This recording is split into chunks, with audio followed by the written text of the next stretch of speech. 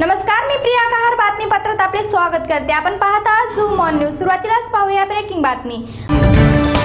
रत्नागिरी जिल्ह्यात मान्सूनपूर्व पावसाने दमदार हजेरी लावली. सलग पाच तासांपेक्षा जास्त पाऊस झाल्याने बळीराजा चांगलाच सुखावला आहे. राजापूर लांजा संगमेश्वर आणि रत्नागिरी तालुक्यात मुसळधार पाऊस कोसळला. वायू चक्रीवादळामुळे गायब झालेल्या मान्सूनपूर्व पावसाची शेतकरी चातकासारखा वाट बघत होता. तसेच रत्नागिरीत तीव्र पाणी टंचाईचा सामना करावा लागत होता. एक दिवस आड शहराला पाणी पुरवठा करण्यात येत आहे. तसेच शहर परिसरात अनेक ठिकाणी पैसे मोजून वसाहती टँकर मागवत आहेत. त्यामुळे या पावसामुळे थोडासा दिलासा मिळाला आहे.